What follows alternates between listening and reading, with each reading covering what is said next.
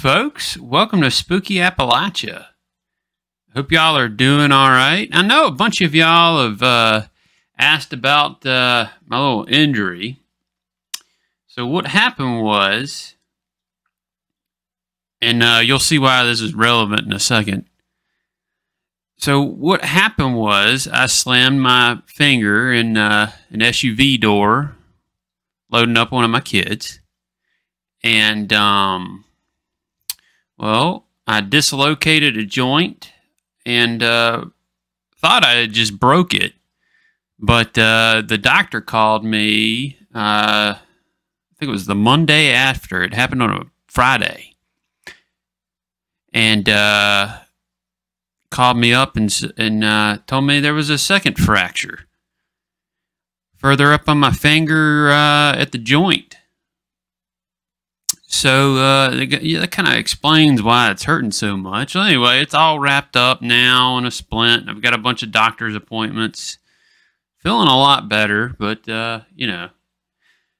Well, here here's where it's relevant. I thought it'd be funny to uh, do this story. It's about a it's an old witch story called Jenny Badfinger. Yeah, pretty funny to I thought anyway. Um, I guess I'll go ahead and get into the story. I forget who sent this in, uh, so I apologize for not shouting you out. But uh, big thanks to the fan who sent this in. It's a it's a pretty good one. Greetings, spooky Appalachia. Here's a witch story my elders told us as kids growing up. I thought you and everyone else may enjoy it. It's about a witch everyone called Jenny Badfinger. Back in the late 1800s, in lower eastern West Virginia, I guess it was Virginia back then, way back in the sticks was an old woman. An old woman named Jenny everybody feared. They say she was a short old lady, poor as dirt, and rarely spoke, but when she did, everybody listened. She lived by herself except for a ton of old crows that followed her everywhere she went.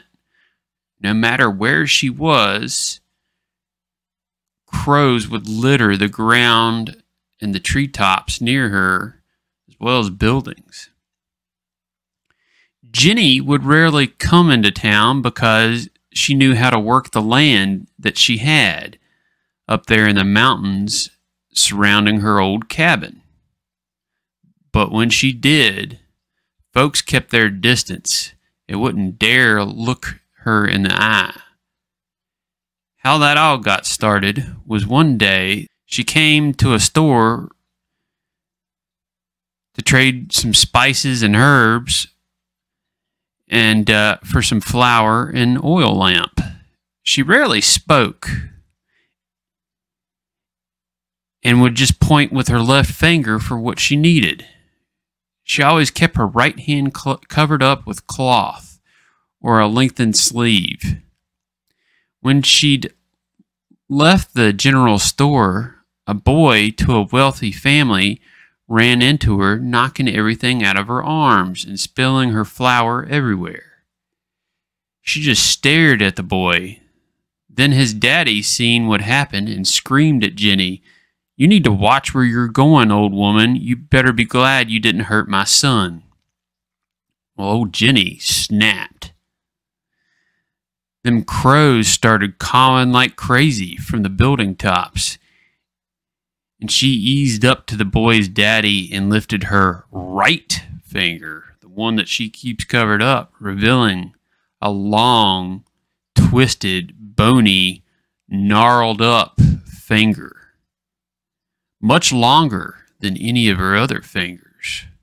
She said in a raspy voice, yet unsettlingly calm, if you ever so much as speak to me like that again, Ned, your words shall rot out of your mouth. He started to say something, and then when he did, he started to cough and grab his mouth and throat. His tongue was swelling up in his mouth. Startled, the young boy picked up her stuff for her and handed it to her. People ran over to him as she was walking away.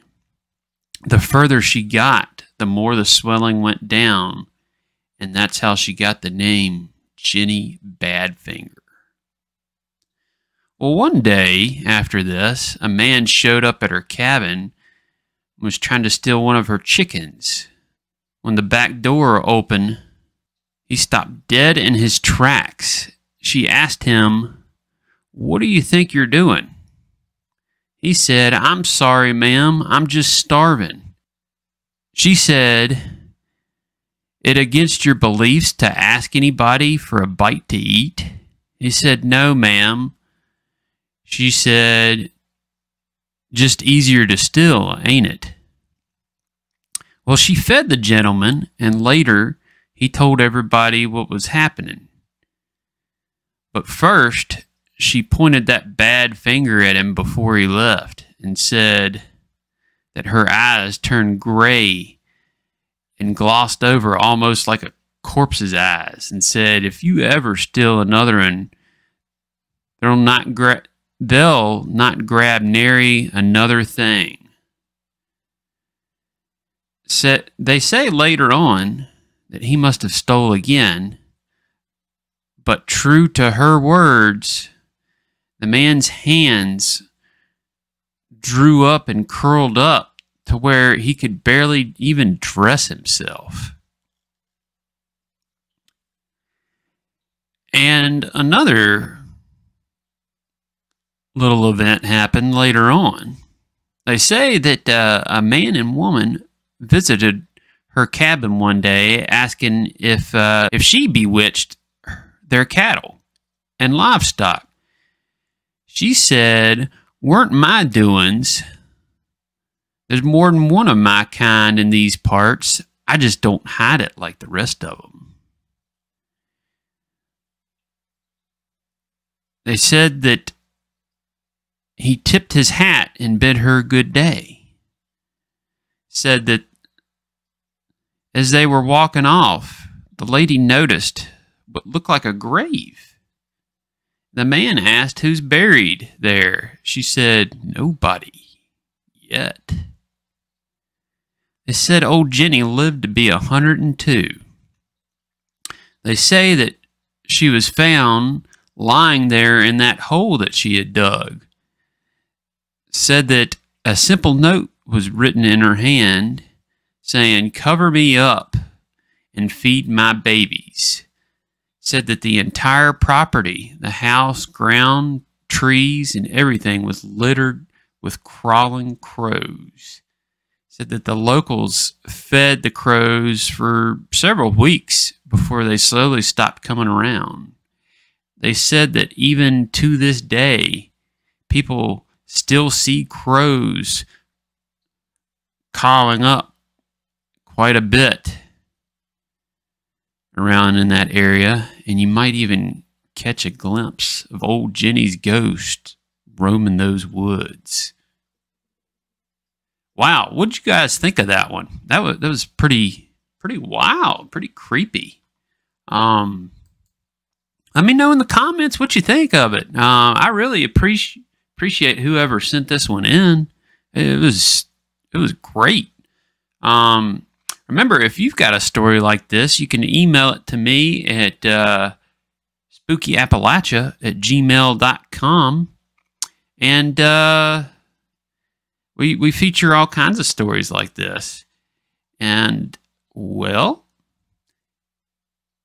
I appreciate y'all for watching. If you liked the video and the story, be sure to like, subscribe, comment, share it out to all your friends. And uh, I'll catch you in the next one. But first, let's uh, let's thank all of our supporters. they're down there in the ticker, but uh, two in particular, Jared King TV. Big thanks to him and uh, Werewolf Radar podcast. Be sure and check them out. Both Jared and Werewolf Radar podcast. Their uh, links are in the description below. They're in the the higher support tier, so they get a special shout out. Everybody else is uh, down in the ticker down there. Um, I appreciate all of them and all y'all watching and sharing me out. Thank you so much. And uh, I'll catch you in the next one. All right. Have a good night, folks. And oh, I guess you guys see it's funny now why I picked Jenny Badfinger. Have a good one.